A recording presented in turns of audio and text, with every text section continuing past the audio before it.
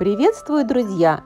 Сегодня 3 августа. Кто мне писал, чтобы я показала свои огурцы на балконе, показываю. Распространенные вопросы, чем удобряю, чем поливаю и как формирую. Друзья, честно, в этом году ни разу ничем не кормила и не удобряла. Хотя предыдущие года использовала настой из травы и настой из золы.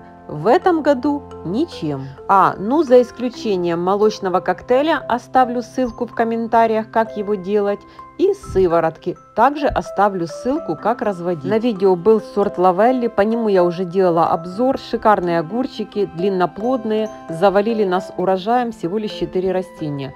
Сейчас на видео сорт Арктика. Этот кустик у меня начал плодоносить еще в доме в апреле месяце. Э, нижние вот листья, которые плохие, я все убираю. Вижу, пожелтел листочек, я не жду, я его убираю. Как видите, он опять выпускает новые молодые побеги и завязывает неплохо огурчики. Посмотрим дальше, что с ним будет, но я считаю, что на 3 августа он выглядит неплохо. Вот этот кустик, сорт Кураж, был высажен попозже. Ну, скажем так, он у меня молоденький, май месяц, но он прекрасно завязывает э, тоже плоды. И здесь у меня не убраны еще нижние листья, потому что они зелененькие. Я убираю только тогда, когда у листка уже нет потенциала. Это опять же на видео второй кустик сорт Кураж.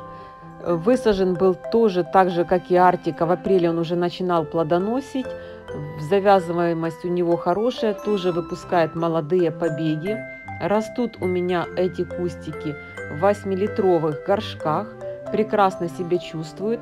Но у этого кустика сейчас дальше будет видно. Смотрите, я убираю все нижние листья. Вот здесь голый ствол, несмотря на это, выпускаются новые пасынки и завязываются огурчики.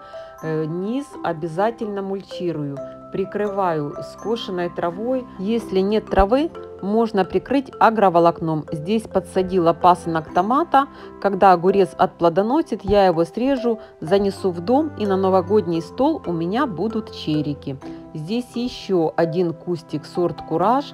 Также, как видите, здесь все плохие нижние листья я убрала. Несмотря на это, он выпускает молодые побеги, завязываются огурчики. Поливать, конечно, нужно регулярно. Я это делаю через день. Когда огурцы вступили в плодоношение, их уже удобрять ничем нельзя, они все впитывают. В этом году ничем не подкармливаю, потому что в начале сезона сделала очень хороший грунт. Перегной, зола, куриный помет, коровий навоз – в общем, все это дало свой результат. Обработки делаю биопрепаратами от вредных насекомых и от грибковых, еще раз повторюсь, опрыскивание сывороткой и молочным коктейлем.